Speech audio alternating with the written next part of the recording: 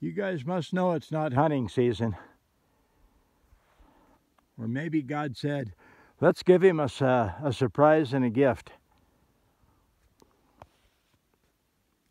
Okay, that's only probably about 125, 135 feet.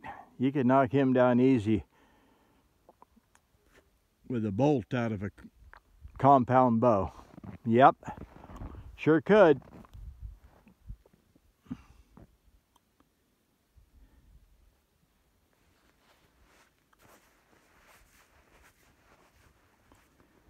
And it's cold out here and I got a shovel and I'm taking pictures of bighorn sheep.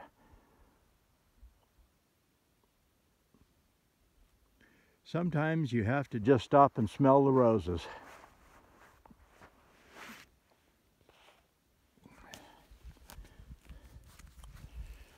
This Brad Buckner, sharpensbest.com. Just off on another little adventure. And if I can make it another 200 feet up this hill, then I'm home free in a two-wheel drive Chevy Astro van. My God, is this a beautiful day. About seven inches of snow.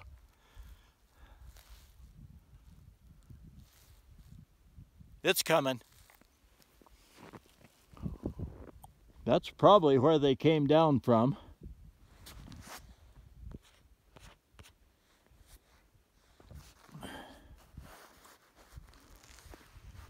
That's where I'm coming up from.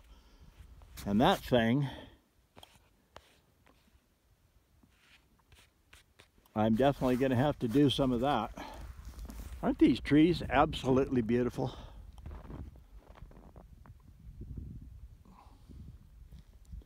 Okay, I got to get to work. Let's take one last look. hey guys, I'll see you later. I got to get to work. Yep. You take care.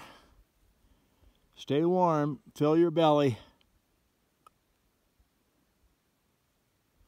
I'll see you later. My God, can you believe this?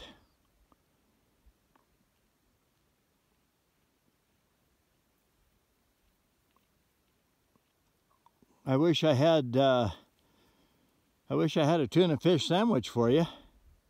Hot cup of coffee, maybe a shot of fireball,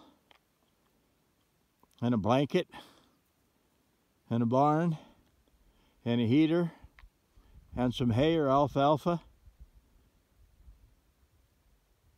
But I don't, so we'll see you later. Goodbye.